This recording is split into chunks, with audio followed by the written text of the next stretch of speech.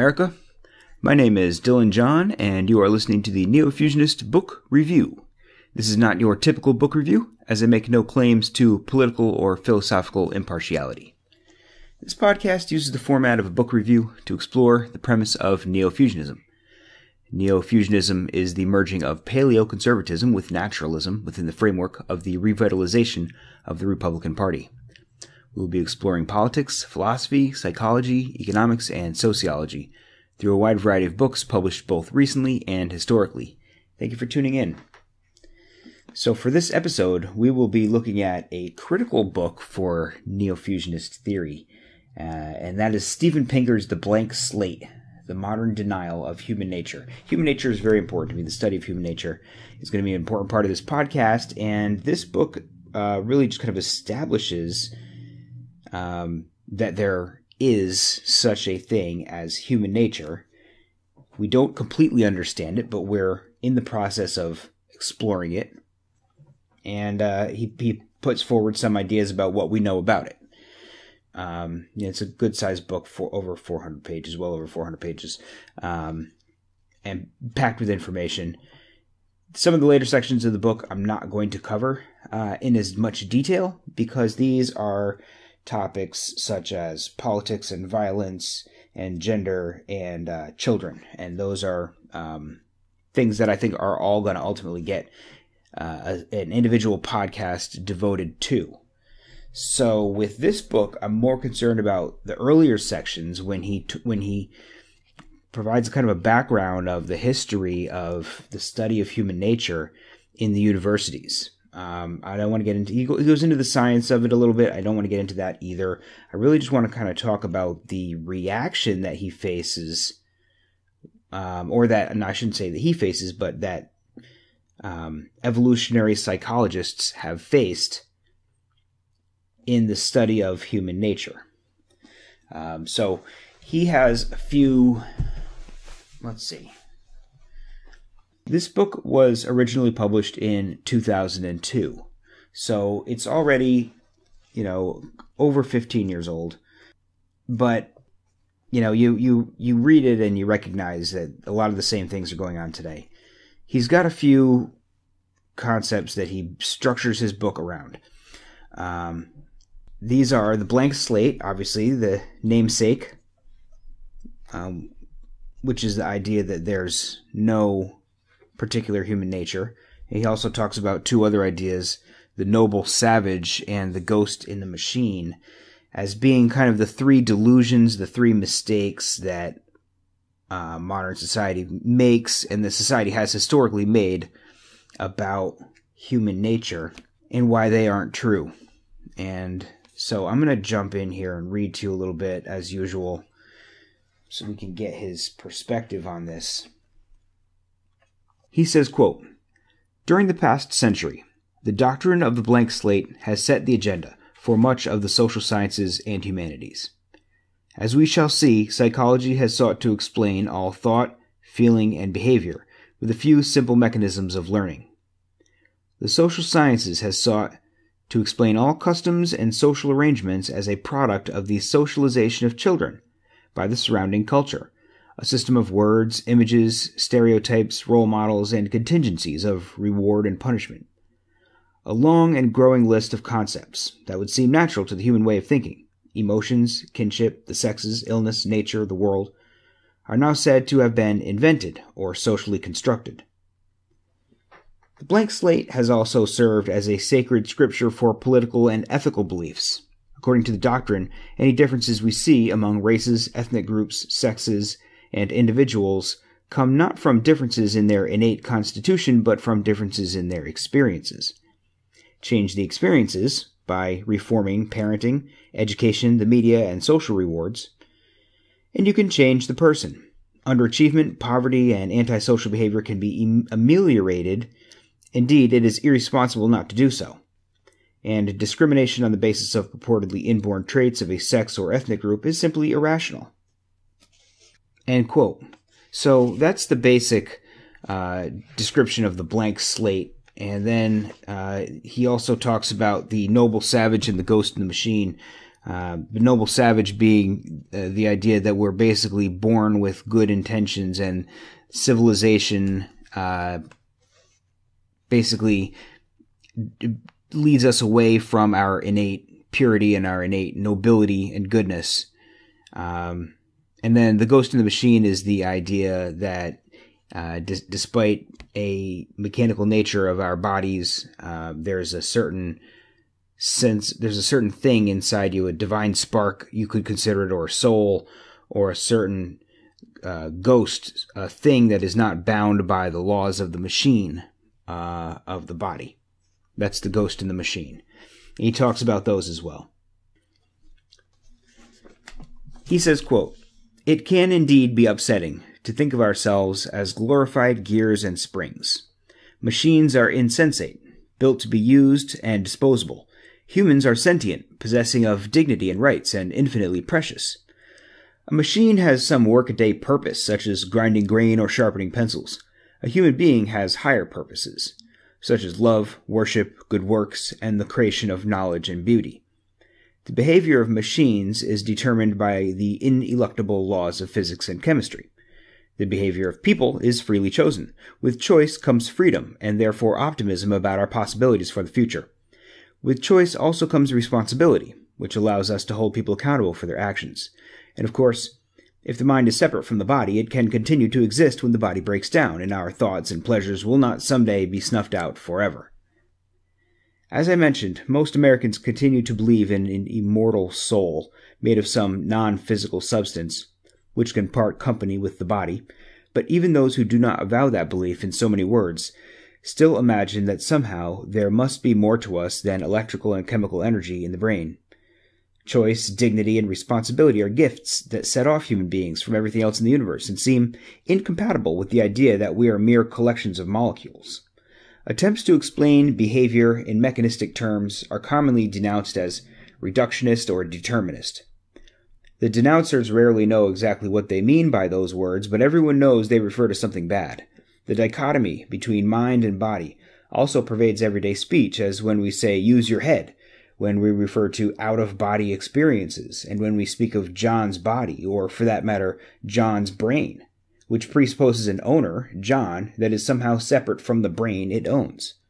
Journalists sometimes speculate about brain transplants when they really should be calling them body transplants because, as the philosopher Dan Dennett has noted, this is the one transplant operation in which it is better to be the donor than the recipient.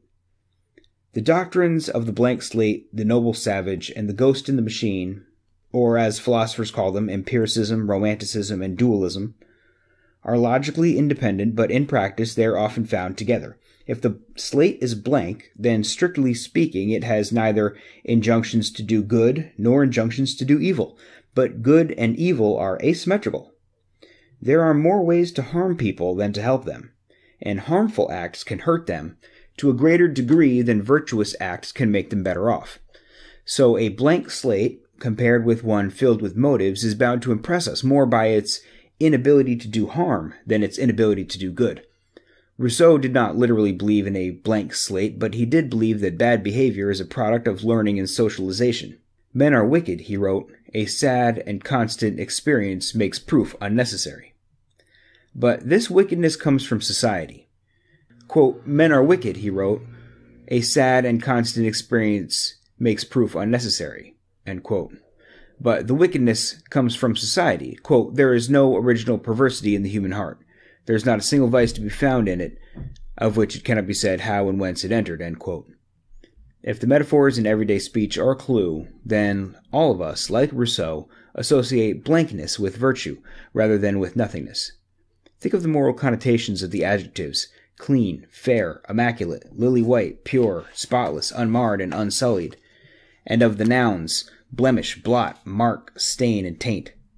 The blank slate naturally coexists with the ghost in the machine, too, since a slate that is blank is a hospitable place for a ghost to haunt.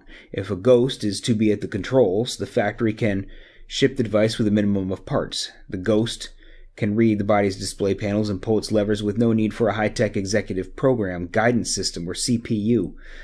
The more not clockwork there is controlling behavior, the less clockwork we need to posit. For similar reasons, the ghost in the machine happily accompanies the noble savage. If the machine behaves ignobly, we can blame the ghost, which freely chose to carry out the iniquitous acts. We need not probe for a defect in the machine's design. So, as you can see, he's laying out a philosophy uh, that he tracks back to Rousseau and he tracks back to also uh, Rene Descartes for the ghost in the machine theory. Um, although I think ghost in the machine as a as a real uh, metaphysical view of a body and soul goes back further than Descartes. But uh, these are the three ideas that he is he is uh, dissecting. So I'm going to jump to the next section where he talks about the response that uh, scientific exploration of human nature uh, that is presenting evidence that is contrary to the blank slate theory um, ha- has received such a negative response from the press and from the left. Um, and this part, this part sounds really familiar. He's writing this book, as I said, uh, you know, over 15 years ago, but he's talking about things that happened well before that. And the response is the same response that a lot of this stuff receives today. He says, quote, Throughout history, battles of opinion have been waged by noisy moralizing, demonizing, hyperbole, and worse. Science was supposed to be a beachhead in which ideas rather than people are attacked, and in which verifiable facts are separated from political opinions. But when science began to edge toward the topic of human nature, onlookers reacted differently from how they would to discoveries about, say, the origin of comets or the classification of lizards. And scientists reverted to the moralistic mindset that comes so naturally to our species. Research on human nature would be controversial in any era, but the new sciences picked a particularly bad decade in which to attract the spotlight. In the 1970s, many intellectuals had become political radicals. Marxism was correct, liberalism was for wimps, and Marx had pronounced that the ruling ideas of each age have ever been the ideas of its ruling class. The traditional misgivings about human nature were folded into a hard left ideology. And scientists who examined the human mind in a biological context were now considered tools of a reactionary establishment. The critics announced they were part of a radical science movement, giving us a convenient label for the group. He says, quote, In 1971, the psychologist Richard Herrnstein published an article called IQ in the Atlantic Monthly. Herrnstein's argument, he was the first to point out, should have been banal. He wrote that as social status becomes less strongly determined by arbitrary legacies, such as race, parentage, and inherited wealth, it will become more strongly determined by talent, especially in a modern economy, intelligence. Since differences in intelligence are partly inherited, and since intelligent people tend to marry other intelligent people, when a society becomes more just, it will also become more stratified along genetic lines. Smarter people will tend to float into the higher strata, and their children will tend to stay there. The basic argument should be banal because it is based on a mathematical necessity, as the proportion of variance in social status caused by non genetic factors goes down, the proportion caused by genetic factors has to go up. It could be completely false only if there were no variation in social status based on intellectual talent, which would require that people not preferentially hire and trade with the talented or if there were no genetic variation in intelligence, which would require people to be either blank slates or clones. Herrnstein's argument does not imply that any differences in average intelligence between races are innate, a distinct hypothesis that had been broached by the psychologist Arthur Jensen two years earlier, and he explicitly denied that he was making such a claim. School desegregation was less than a generation old, civil rights legislation less than a decade, so the differences that have been documented in average IQ scores of blacks and whites could easily be explained by differences in opportunity. Indeed, to say that Herrnstein's syllogism implied that black people would end up at the bottom of a genetically stratified society was to add the gratuitous assumption that blacks were on average genetically less intelligent, which Herrnstein took pains to avoid. Nonetheless, the influential psychiatrist Alvin Poussaint wrote that Herrnstein has become the enemy of black people, and his pronouncements are a threat to the survival of every black person in America. He asked rhetorically, Shall we carry banners for Herrnstein, proclaiming his right to freedom of speech? Leaflets were handed out at Boston area universities urging students to fight Harvard professors, professors' fascist lies, and Harvard Square was plastered with his photograph above the caption, Wanted for Racism, and five misquotations purportedly from his article. Herrnstein received a death threat and found that he could no longer speak about his research specialty, learning in pigeons, because wherever he went, the lecture halls were filled with chanting mobs. At Princeton, for example, students declared they would block the doors of the auditorium to force him to answer questions on the IQ controversy. Several lectures were canceled when the hosting universities said they could not guarantee his safety. The topic of innate differences among people has obvious political implications, which I will examine in later chapters, but some scholars were incensed by the seemingly warm and fuzzy claim that people have innate commonalities. In the late 1960s, the psychologist Paul Ekman discovered that smiles, frowns, sneers, grimaces, and other facial expressions were displayed and understood worldwide, even among foraging peoples with no prior contact with the West. These findings, he argued, vindicated two claims that Darwin had made in his 1872 book, The Expression of the Emotions in Man and Animals. One was that humans had been endowed with emotional expressions by the process of evolution. The other, radical in Darwin's time, was that all races had recently diverged from a common ancestor. Despite these uplifting messages, Margaret Mead called Ekman's research outrageous, appalling, and a disgrace, and these were some of the milder responses. At the annual meeting of the American Anthropological Association, Alan Lomax Jr. rose from the audience shouting that Ekman should not be allowed to speak because his ideas were fascist. On another occasion, an African American activist accused him of racism for claiming that black facial expressions were no different from white ones. Sometimes you can't win. And it was not just claims about innate faculties in the human species that drew the radicals' ire, but claims about innate faculties in any species. When the neuroscientist Torsten Wiesel published his historic work with David Hubel, showing that the visual system of cats is largely complete at birth, Another neuroscientist angrily called him a fascist and vowed to prove him wrong. Some of these protests were signs of the times and faded with the decline of radical chic. But the reaction to two books on evolution continued for decades and became part of the intellectual mainstream. The first was E. O. Wilson's Sociobiology, published in 1975. Sociobiology synthesized a vast literature on animal behavior using new ideas on natural selection from George Williams, William Hamilton, John Maynard Smith, and Robert Trivers. It reviewed principles on the evolution of communication, altruism, aggression, sex, and parenting, and applied them to the major taxa of social animals such as insects, fishes, and birds. The 27th chapter did the same for Homo sapiens, treating our species like another branch of the animal kingdom. It included a review of the literature on universals and variation among societies, a discussion of language and its effects on culture, and the hypothesis that some universals, including the moral sense, may come from a human nature shaped by natural selection.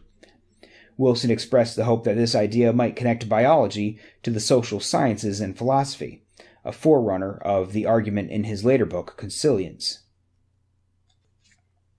He says, quote, At Harvard, there were leaflets and teach-ins, a protester with a bullhorn calling for Wilson's dismissal, and invasions of his classroom by slogan shouting students. When he spoke at other universities, posters called him the right wing prophet of patriarchy and urged people to bring noisemakers to his lectures. Wilson was about to speak at a 1978 meeting of the American Association for the Advancement of Science when a group of people carrying placards, one with a swastika, rushed onto the stage chanting, Racist Wilson, you can't hide, we charge you with genocide. One protester grabbed the microphone and harangued the audience while another doused Wilson with a pitcher of water. He goes on to say, later in this chapter, he says, quote, No one should be surprised that claims about human nature are controversial. Obviously, any such claim should be scrutinized and any logical and empirical flaws pointed out, just as with any scientific hypothesis. But the criticism of the new sciences of human nature went well beyond ordinary scholarly debate.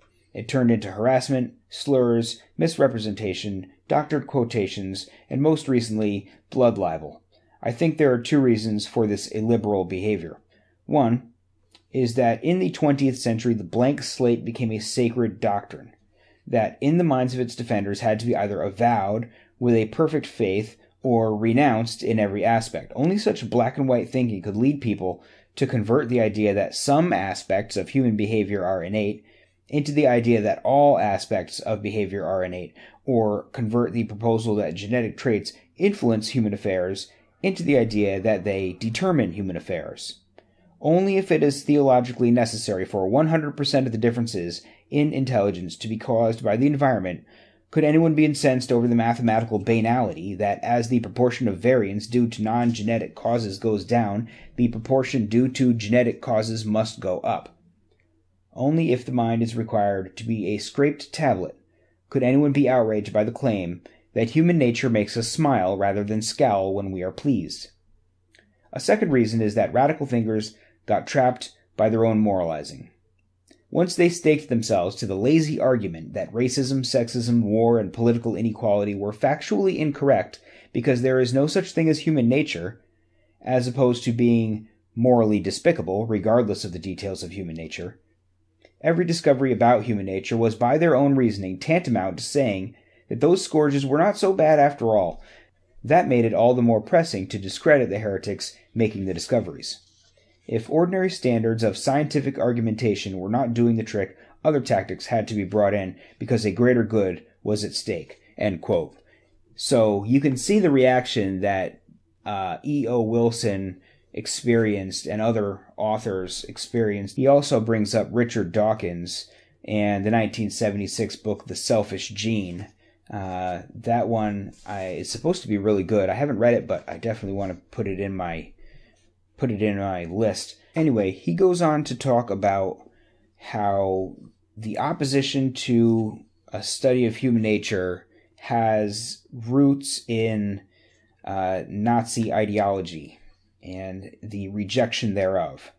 Uh, basically, the claim that the Nazis built their uh, genocidal system on notions of genetic purity and therefore genetic influences of human behavior and, a, and a, just a general study of human genetics um, frightens people who feel tied to the blank slate theory, uh, morally morally tied to the blank slate theory. He says, quote, the most sickening associations of a biological conception of human nature are the ones to Nazism Though the opposition to the idea of a human nature began decades earlier, historians agree that bitter memories of the Holocaust were the main reason that human nature became taboo in intellectual life after World War II. Hitler was undeniably influenced by the bastardized version of Darwinism and genetics that were popular in the early decades of the 20th century, and he specifically cited natural selection and the survival of the fittest in laying out his poisonous doctrine. He believed in an extreme social Darwinism, in which groups were the unit of selection, and a struggle among groups was necessary for national strength and vigor. He believed that the groups were constitutionally distinct races, that their members shared a distinctive biological makeup, and that they differed from one another in strength, courage, honesty, intelligence, and civic mindedness. He wrote that the extinction of inferior races was part of the wisdom of nature that the superior races owed their vitality and virtue to their genetic purity, and that the superior superior races were in danger of being degraded by interbreeding with the inferior ones. He used these beliefs to justify his war of conquest and his genocide of Jews, gypsies, Slavs, and homosexuals. The misuse of biology by the Nazis is a reminder that perverted ideas can have horrifying consequences and that intellectuals have a responsibility to take responsible care that their ideas not be misused for evil ends, but part of that responsibility is not to trivialize the horror of Nazism by exploiting it for rhetorical clout in academic catfights. Linking the people you disagree with to Nazism does nothing for the memory of Hitler's victims, or for the effort to prevent other genocides.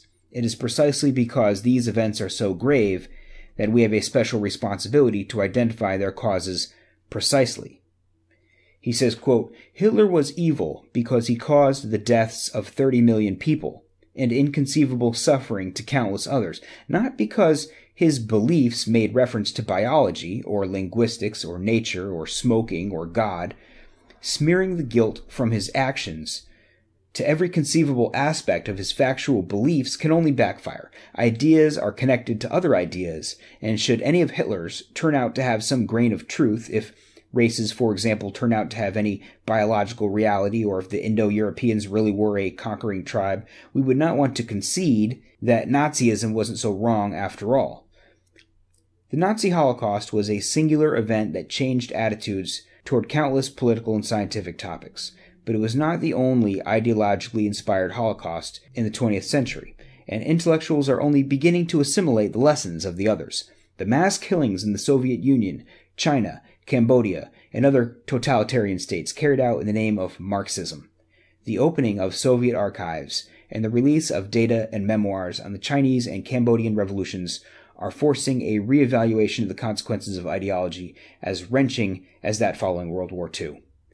Historians are currently debating whether the communists' mass executions, forced marches, slave labor, and man made famines led to 100 million deaths or only 25 million.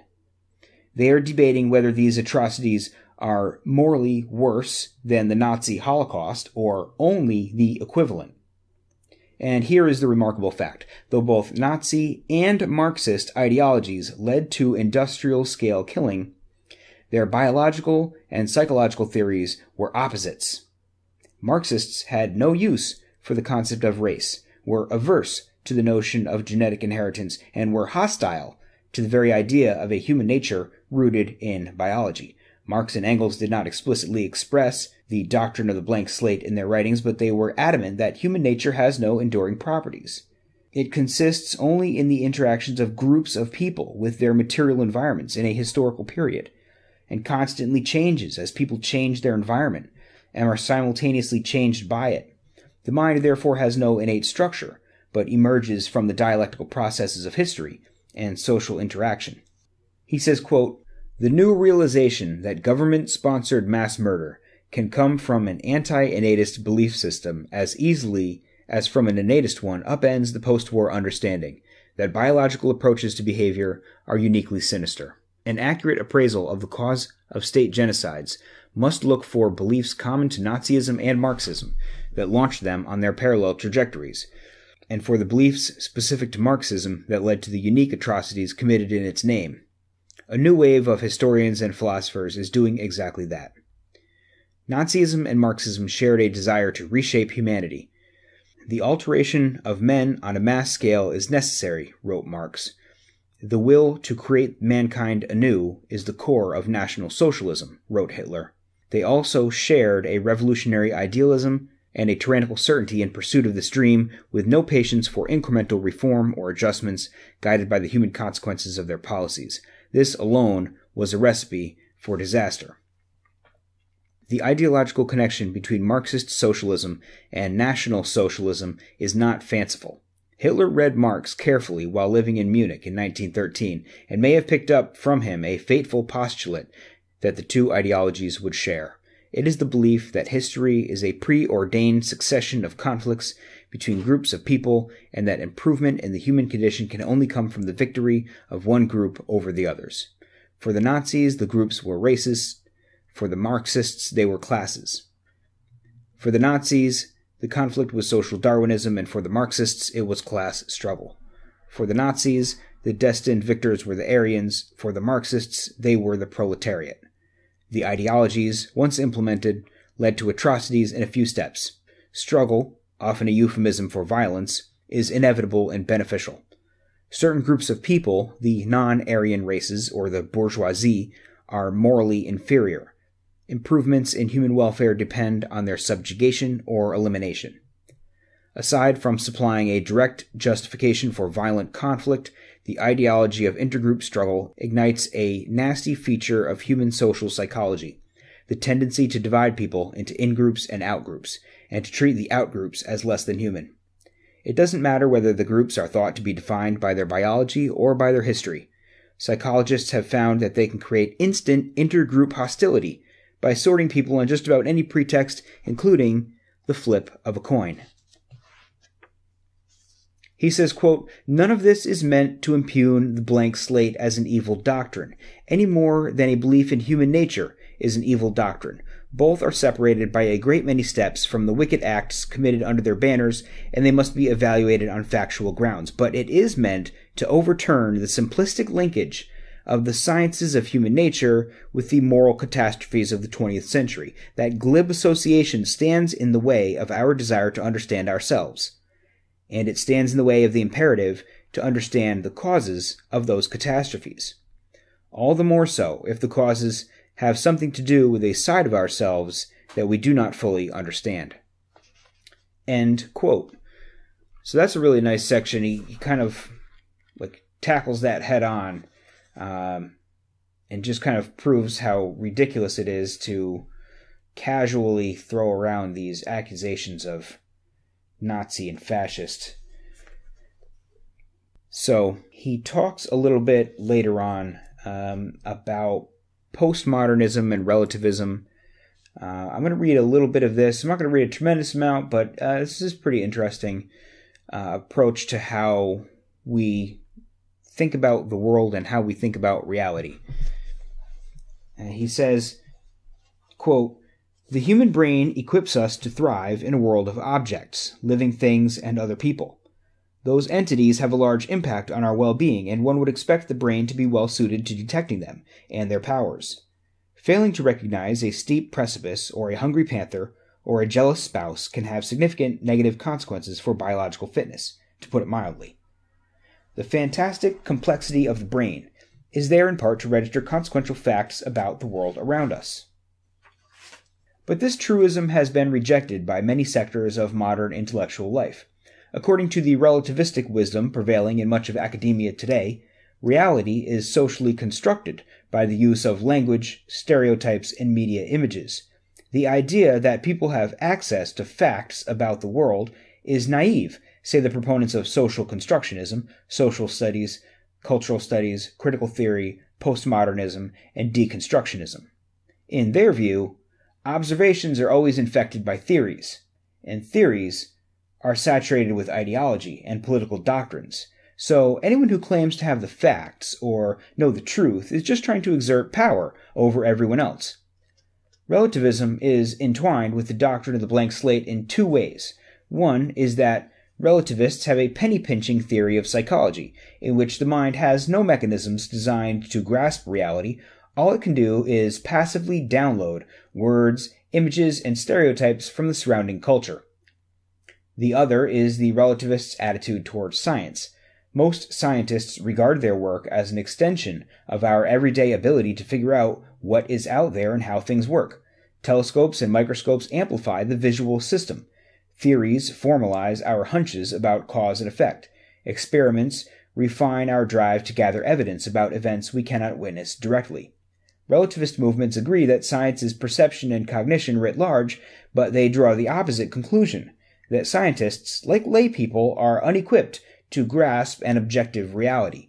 Instead, their advocates say Western science is only one way of describing reality, nature, and the way things work. A very effective way, certainly, for the production of goods and profits, but unsatisfactory in most other respects. It is an imperialist arrogance which ignores the sciences and insights of most other cultures and times. Nowhere is this more significant than in the scientific study of politically charged topics such as race, gender, violence, and social organization.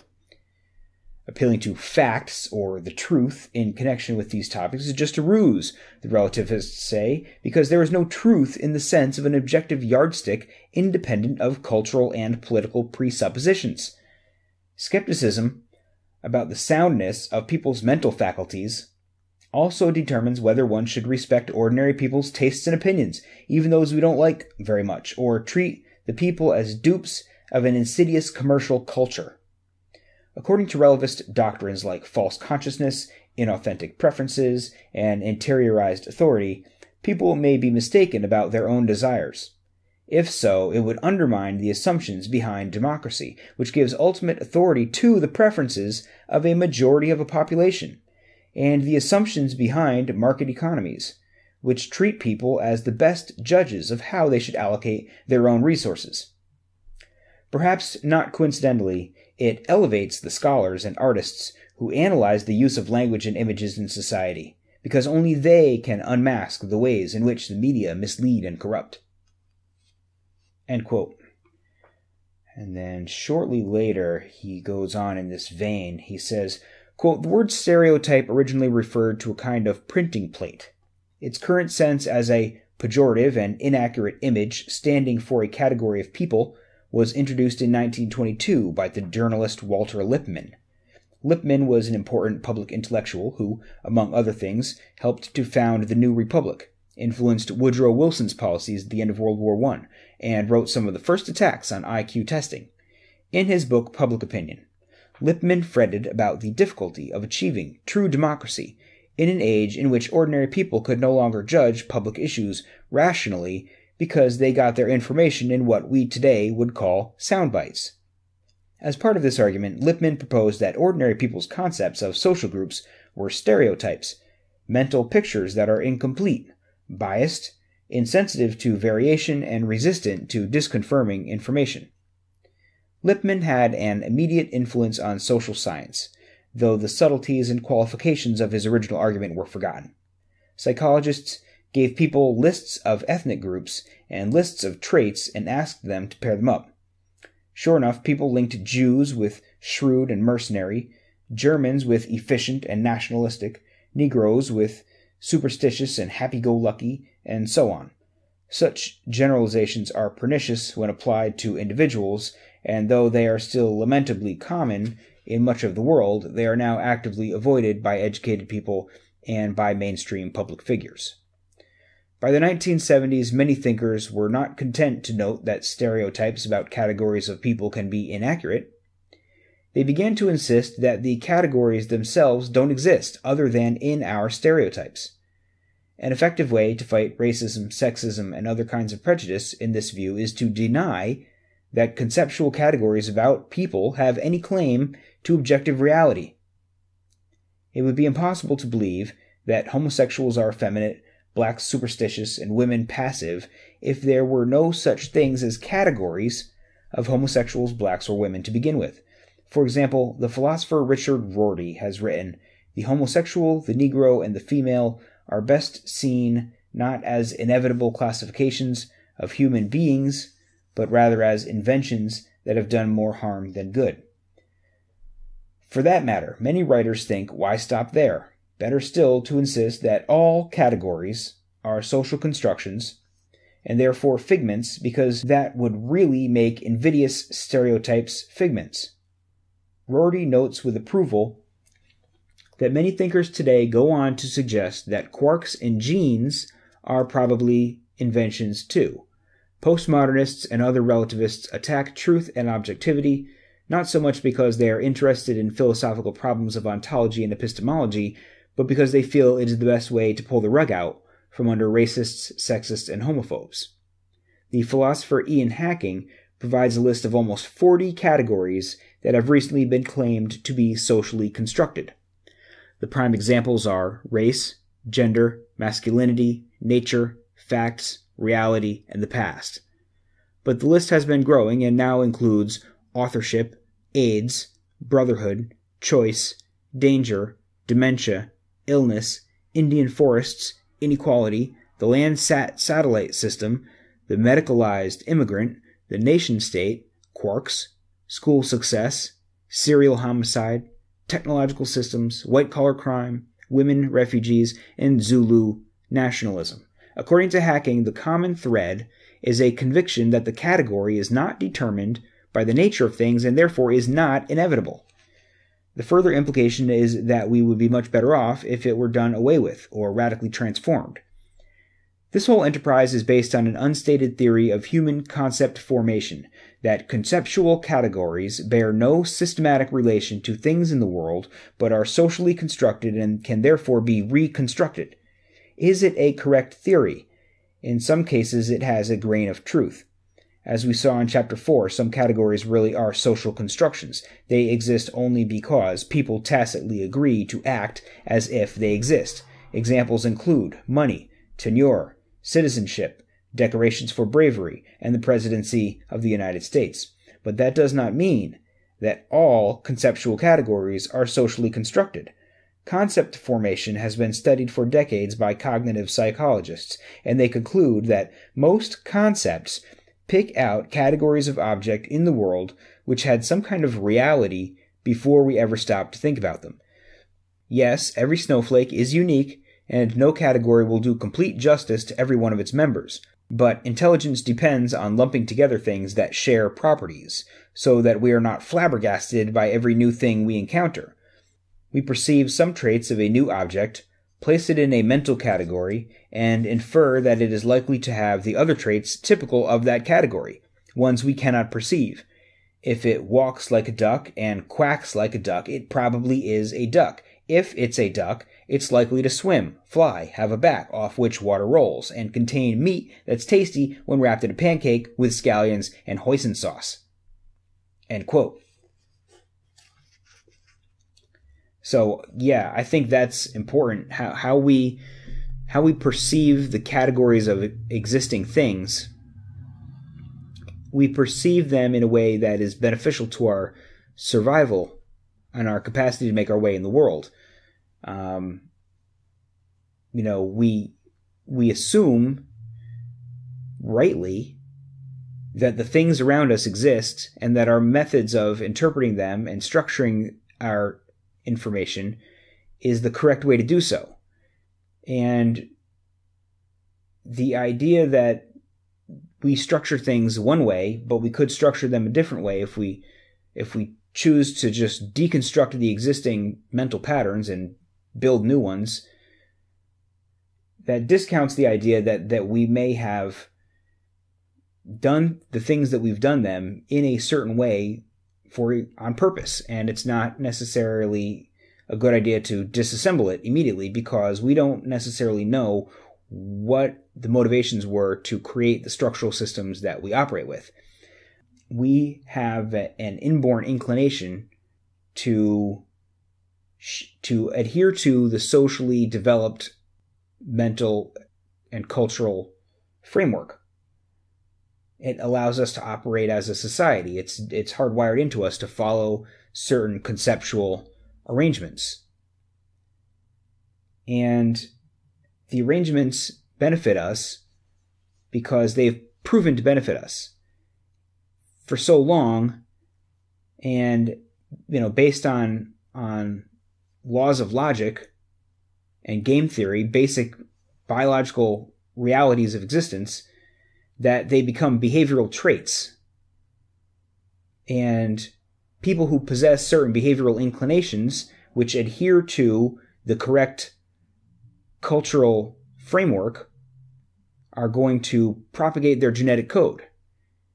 And we thus gain genetic behavioral processes that allow us to specialize and succeed in the environment of planet Earth. I mean, I, I think that's that's the core opposition to this ridiculous postmodern proposal. So, moving along here to section five, uh, we get a chance to talk about altruism, which is often put forward as the reigning argument against uh, selfish genetic uh, evolutionary survival of the fittest inclination. The the argument that people use genetic uh, that if we if we just adhere to a simply genetic approach to human nature, it becomes overridden with competitive selfishness, the, the social Darwinist kind of approach, right? I guess this is a, a rebuttal to social Darwinism. So I'll go ahead and read this section. He says, quote, Our bodies are extraordinarily improbable arrangements of matter, with many ways for things to go wrong, and only a few ways for things to go right. We are certain to die, and smart enough to know it. Our minds are adapted to a world that no longer exists, prone to misunderstanding, correctable only by arduous education, and condemned to perplexity about the deepest questions we can entertain. But some of the most painful shocks come from the social world, from the manipulations and betrayals of other people. According to the fable, a scorpion asked a frog to carry him across a river, reassuring the frog that he wouldn't sting him because if he did, he would drown too. Halfway across, the scorpion did sting him. And when the sinking frog asked why, the scorpion replied, It's in my nature. Technically speaking, a scorpion with this nature could not have evolved, but Trivers has explained why it sometimes seems as if human nature is like the fabled scorpion nature, condemned to apparently pointless conflict. It's no mystery why organisms sometimes harm one another. Evolution has no conscience, and if one creature hurts another to benefit itself, such as by eating, parasitizing, intimidating, or cuckolding it, its descendants will come to predominate, complete with those nasty habits. All this is familiar from the vernacular sense of Darwinian as a synonym for ruthless, and from Tennyson's depiction of nature as red in tooth and claw. If that were all there was to the evolution of the human condition, we would have to agree with the rock song Life sucks, then you die. But, of course, life doesn't always suck. Many creatures cooperate, nurture, and make peace, and humans in particular find comfort and joy in their families, friends, and communities. This, too, should be familiar to readers of The Selfish Gene and the other books on the evolution of altruism that have appeared in the years since, there are several reasons why organisms may evolve a willingness to do good deeds. They may help other creatures while pursuing their own interests, say, when they form a herd that confuses predators or live off each other's byproducts. This is called mutualism, symbiosis, or cooperation. Among humans, friends who have common tastes, hobbies, or enemies are a kind of symbiont pair. The two parents of a brood of children are an even better example. Their genes are tied up in the same package, their children, so what is good for one is good for the other, and each has an interest in keeping the other alive and healthy. These shared interests set the stage for companionate love and marital love to evolve. And in some cases, organisms may benefit other organisms at a cost to themselves, which biologists call altruism. Altruism, in this technical sense, can evolve in two main ways. First, since relatives share genes, any gene that inclines an organism toward helping a relative will increase the chance of survival of a copy of itself that sits inside that relative, even if the helper sacrifices its own fitness in the generous act. Such genes will, on average, come to predominate as long as the cost to the helper is less than the benefit to the recipient discounted by their degree of relatedness. Family love, the cherishing of children, siblings, parents, grandparents, uncles and aunts, nieces and nephews, and cousins can evolve. This is called nepotistic altruism. Altruism can also evolve when organisms trade favors. One helps another by grooming, feeding, protecting, or backing him, and is helped in turn when the needs reverse. This is called reciprocal altruism, and it can evolve when parties recognize each other, interact repeatedly, can confer a large benefit on others at small cost to themselves, keep a memory for favors offered or denied, and are impelled to reciprocate accordingly. Reciprocal altruism can evolve because cooperators do better than hermits or misanthropes.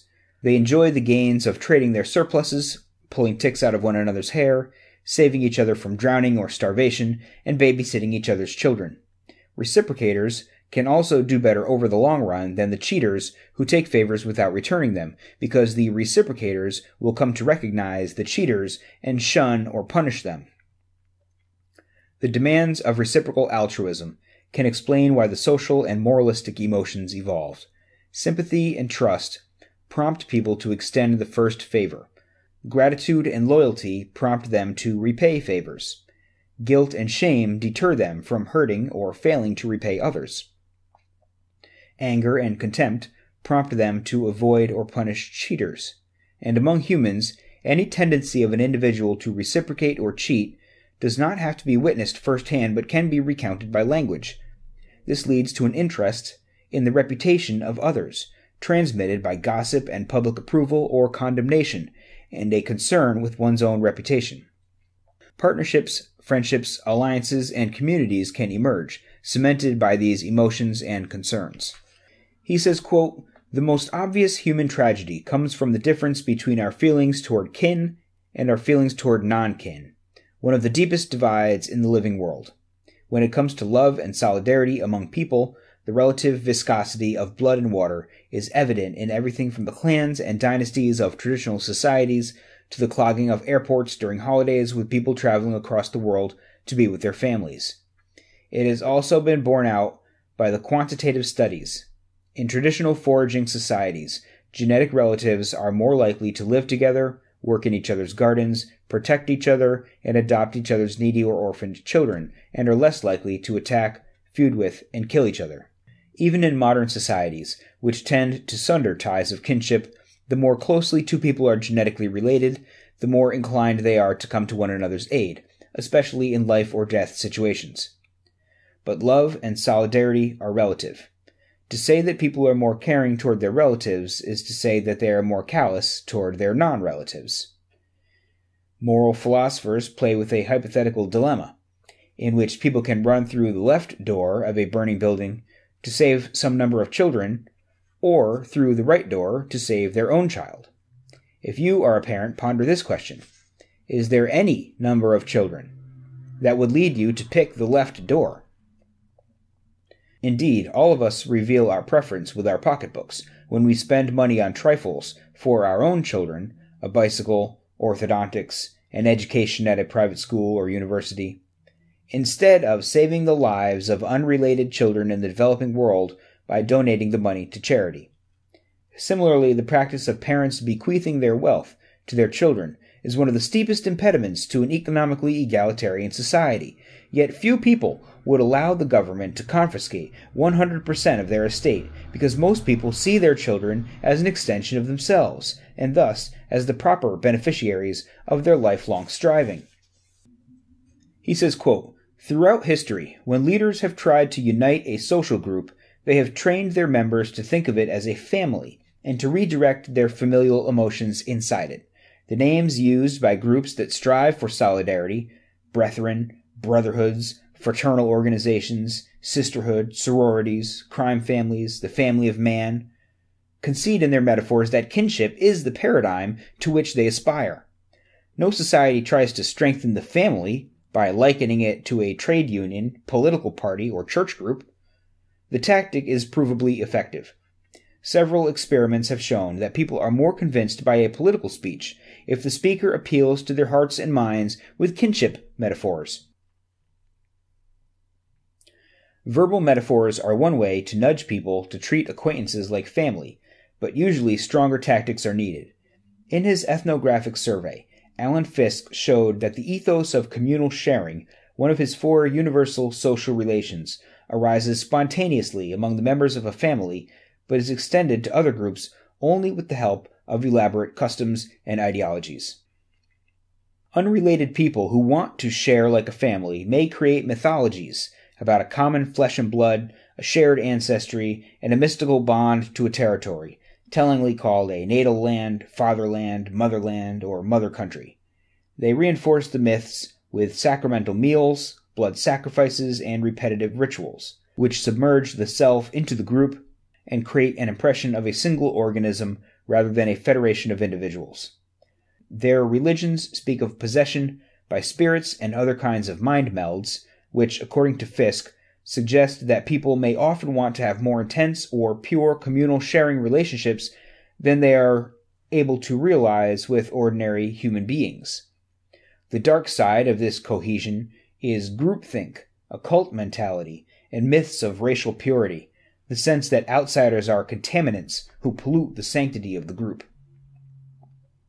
None of this means that non relatives are ruthlessly competitive toward one another, only that they are not as spontaneously cooperative as kin. At a later point, he goes on to say, quote, Humans, like ants, could have a gung ho superorganism thing that prompts them to do everything for the colony. The idea that people are instinctively communal is an important precept of the romantic doctrine of the noble savage. It figured in the theory of Engels and Marx that primitive communism was the first social system.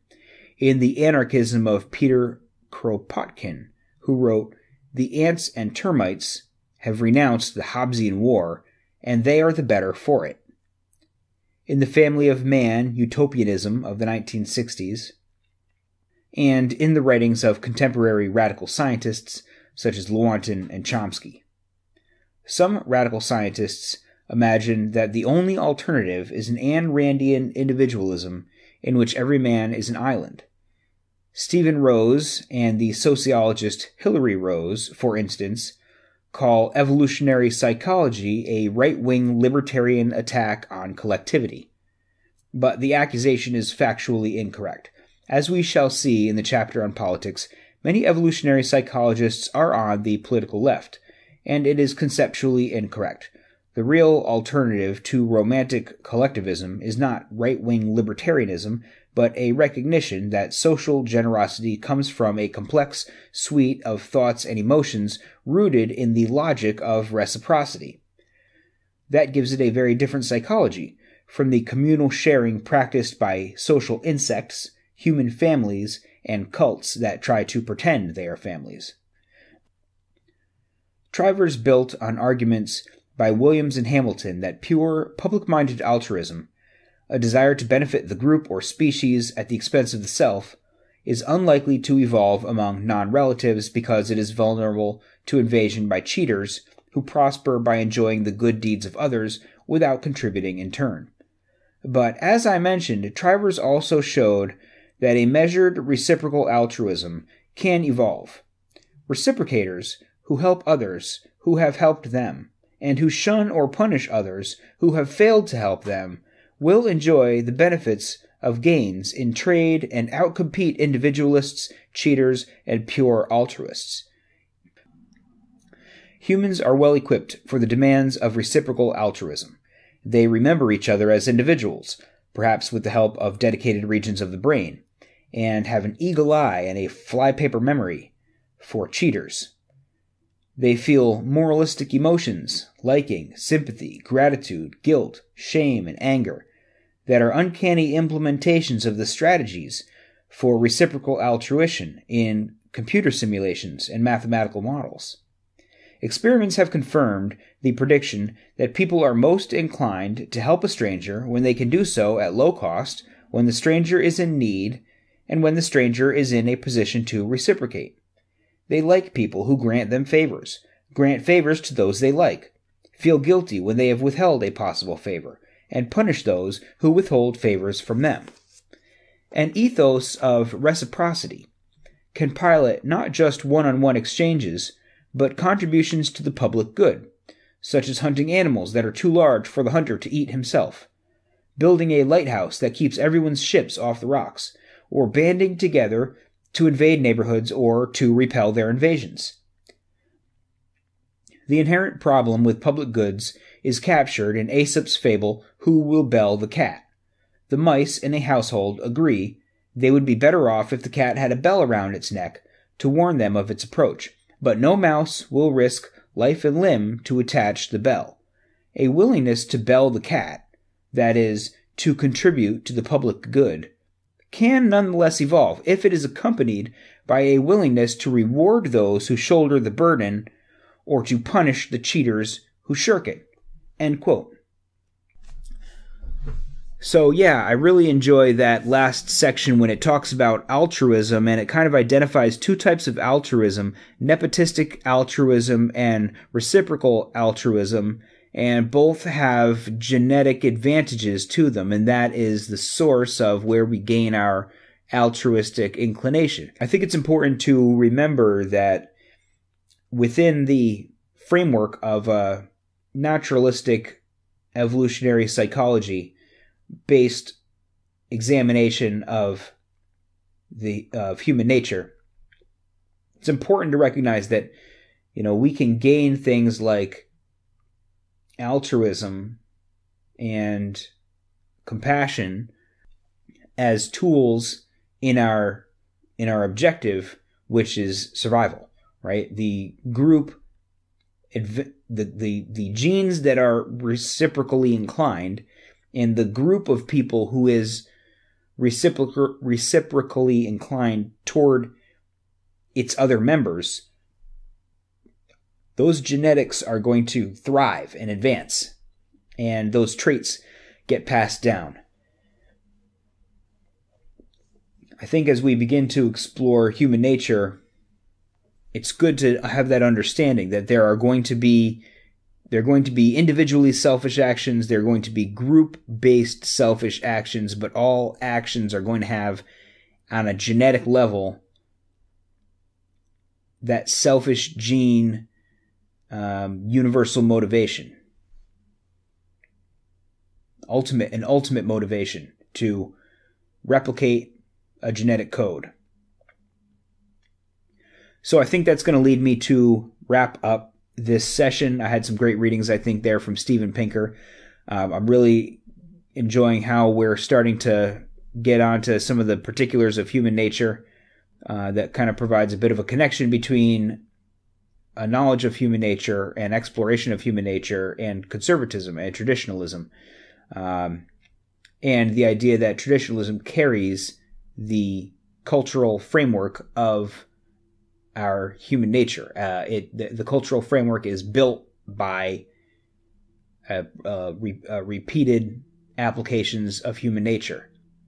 Um, and I think that that's kind of the theme that we're going to be going with is how we can tie uh, the scientific study of human nature, the acknowledgement of human nature, and and a conservative political inclination uh, to find that one supports the other and vice versa. So if you like the show, if you like the readings, if you like the books, if you like the direction, if you want to keep me going, help me out by becoming a patron.